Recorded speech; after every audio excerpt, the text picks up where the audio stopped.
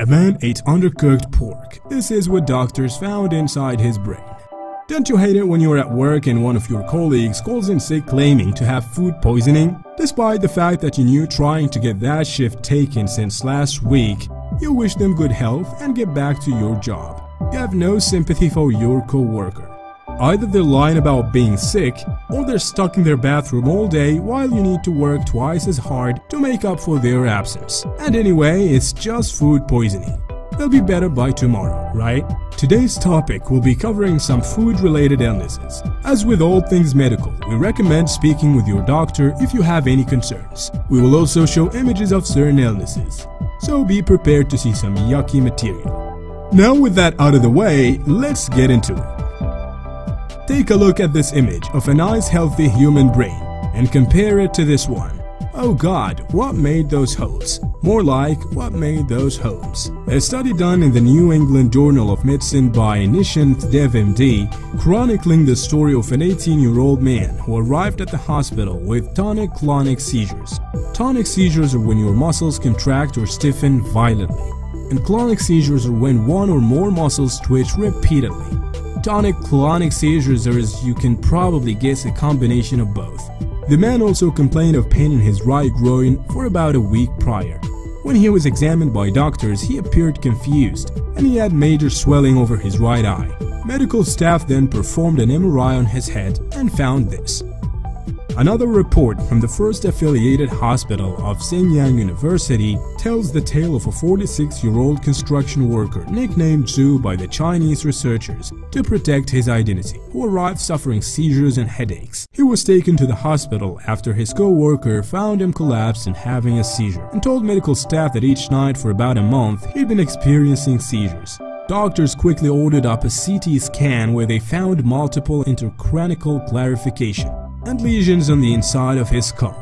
Zhu, not wanting to spend any more money, declined further medical care and returned home.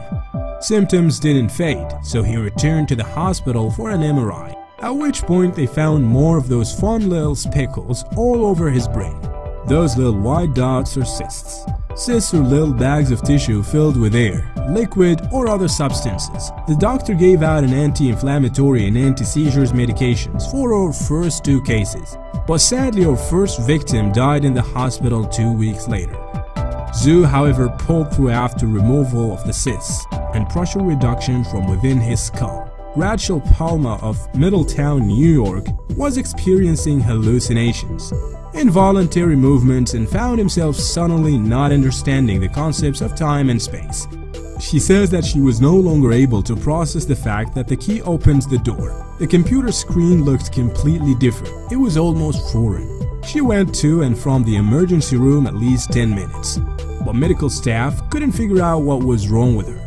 Eventually, Palma's GP noticed a lesion on her left frontal lobe and directed her to a neurosurgeon by the name of Dr. Jonathan Rasouli.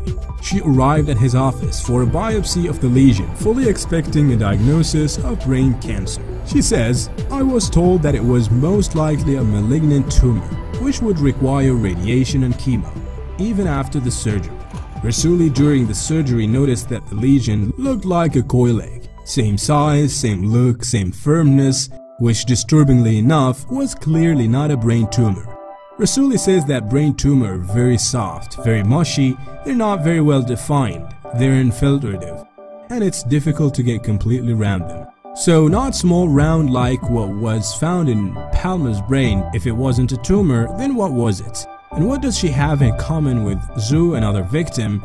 Palma and her first victim had no recollection of consuming uncooked pork. But Zhu told reporters that he had eaten pork in a hot pot before he felt sick. He said that he only simmered the meat a little. The bottom of the pot with spicy broth was red, so couldn't see if the meat had been cooked thoroughly. Technically, all uncooked meat carries some danger. Dr. Lee-Ann Jaykus, professor of food science at North Carolina State University, explains that anything harmful lives on the surface of the meat, not inside the muscle. So if you like your steak very rare, just searing the outside will likely kill anything harmful. But when meat is ground, any bacteria on the surface mixes throughout the product, so it must be cooked thoroughly. Chicken has a higher risk of malevolent microbiota than beef, because they're usually raised in extremely right tight conditions and are produced at massive scale. Chicken meat is also much moister than other meats, which allow microbes to permeate the entire structure, so they must be cooked thoroughly. Fish like pork has chance of being filled with parasites, so cooking it is the best way to keep yourself safe. However, you can kill those parasites by keeping fish at temperature minus 4 for a week. Regulations on how fish are intended to be eaten raw vary throughout the world. The United States of America Food and Drug Administration recommends that meats should be frozen before eating it raw. But there aren't specific federally enforced laws on the matter. Most restaurants will prioritize their freshest and fastest fish for raw consumption because giving their customers parasites is bad for business. The reason you want to cook your pork all the way through, even when it's not ground, is because it's just bacteria, where we're worried about. We're also trying to kill off those parasites which will burrow into the muscle. Why is pork more dangerous than beef? Well, it's simply evolution.